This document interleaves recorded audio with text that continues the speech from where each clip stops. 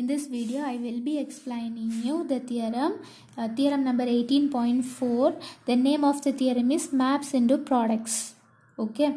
So, in the name itself, when immediately after reading the topic or title, you one thing should come in your mind that is uh, they are talking about a mapping and that mapping is from a set to the products okay? So it means they they are talking about the mappings f from a to x cross y okay? That is what they are talking about.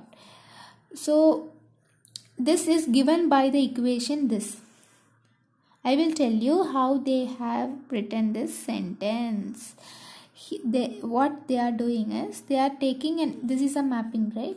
So from this a they are taking an element that is small a.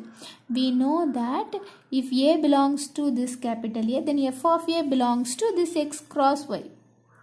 Right? And that f of a will be in this format because this is x cross y. The elements in x cross y will be in this format in this format okay so that is why they have written f from let f from a a to x cross y be given by the equation f of a is equal to f1 of a comma f2 of a. Then what if it is like that then f is continuous if and only if when f is continuous f1 from a to x and f2 from a to y are continuous. Here f1 and f2 are coordinate functions of f okay uh, if f1 from a to x and f2 from a to y are continuous then f will be continuous. That is what the meaning for this statement. So let, without any without wasting time let us pass on to the proof. So here this is an if and only if statement. So what you have to do is we will assume the first part and we will prove the second part first. So here assume f is continuous and we will prove uh, f1 from a to x and f2 from a to y are continuous. To prove this what we have to do is you have to take two projections that are uh, projection projections okay? They are pi 1 from x cross y to x pi 2 from x cross y to y with the projections onto the first and second factors respectively. Take the projection first. Then you are taking two open sets from x and y. That is you are taking uh, an open set u from capital X and v from capital Y. That is what you have wrote in the sentence. Let u and v be the open sets in X cross Y. Now then if it is like that then the by, by the definition you can write pi 1 inverse of so here uh, writing this is not difficult. There is a shortcut I will tell you. You are writing this by the definition and I will tell you the short trick also so that you don't forget or when writing in the exam paper you don't get confused okay? For that I am saying this. Son okay. Extra point. Consider this as an extra point. So here how you can write this is uh, you have to keep this in your mind. Pi 1 from x cross y to x and pi 2 from x cross y to y. So from this when you write pi 1 inverse of u I, I told you earlier what? From the set x you are taking an open set u and from the set y you are taking an open set v right? In the above steps that is what we have learned we have seen. So here the next step is based on this step that is i will tell you. Pi 1 here uh, in the u is an open set from x right? So with a pencil you can write like this u.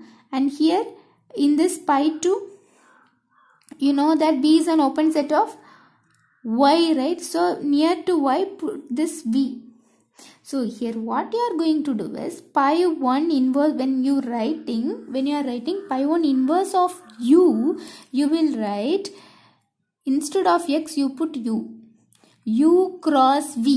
When you write pi 2 inverse of v write x as it is. In the place of y put v. Because v is an open set from x. Sorry sorry v is an open set from y right? So that is why okay?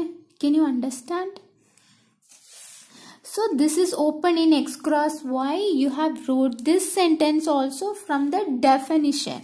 So pi 1 inverse of u is equal to i told you the trick to write this sentence. Without that trick if you learn you will forget. Mark my words.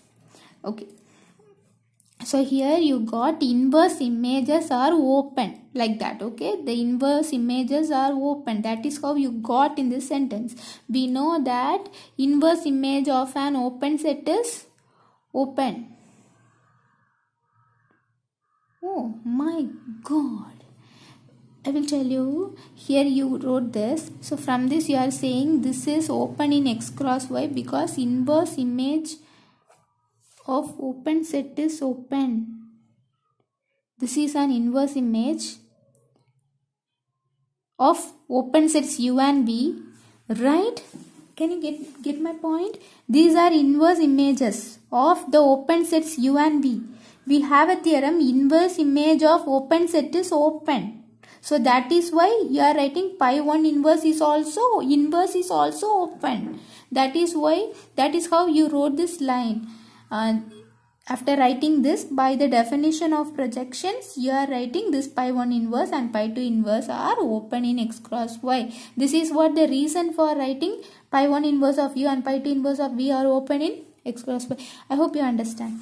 Okay now if inverse is open in uh, open then you can say that functions are continuous right so that is why you are writing therefore pi 1 and pi 2 are continuous. Now we have pi 1 composition f from a to x and pi 2 composition f from a to y. Right? We are taking compositions here. Pi 1 composition f from a to x and pi 2 composition f from a to y. Let a belongs to capital E a we know that from the set A already I explained you. When explaining from A you are taking an element small a. Hmm? that is what you are taking here.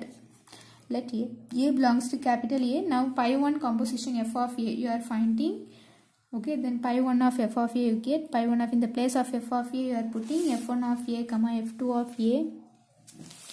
So that you will get this. Now by the definition you can write f1 of A now similarly you can find for pi 2 composition f you will get f2 since uh, f is continuous. From the assumption you say f is continuous. Pi 1 and pi 2 also continuous. The just above you have seen. So since f is continuous and pi 1 and pi 2 are continuous you can say f1 and f2 are composition of two continuous functions. Therefore right f1 and f2 are composition of two continuous functions. So that you can say f1 and f2 also continuous. That is how the first part of the theorem we have proved. Now the converse part i will be explaining in another video. I will be explaining you in another video okay? Converse part